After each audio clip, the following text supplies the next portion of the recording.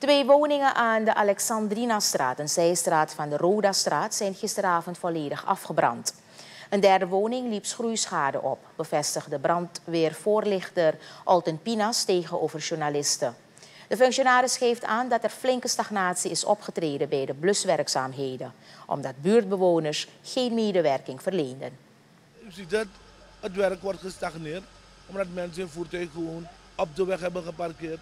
Het brandweervoertuig die moet omrijden, uh, die grote tankwagen. En het is dan moeilijk het andere voertuig produceren vanwege de manier hoe ze moeten omrijden.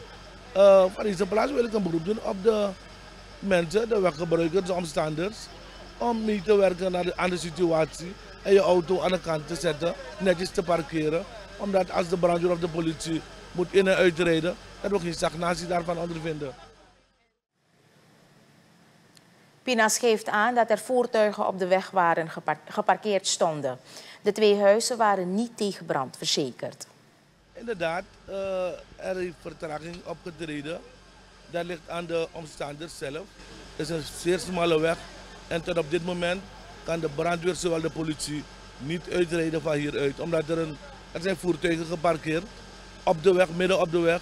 En niemand weet van wie de voertuigen zijn. We hebben het al doorgespeeld aan de politie. En ze zullen maatregelen treffen. We hadden uh, geen watertekort, maar het water van het eerste voertuig die raakte op. En we zorgen ervoor dat samen met het eerste voertuig er een tankwagen is die uitdrukt. Maar de tankwagen kon helaas niet uh, binnenkomen in de straat, omdat er auto's geparkeerd stonden. En we riepen en niemand kwam uh, die voertuigen weghalen. Volgens de beschrijving van Pinas begon de brand achter op het erf bij een laagbouwpand. De buren sloegen alarm toen zij een rookontwikkeling waarnamen.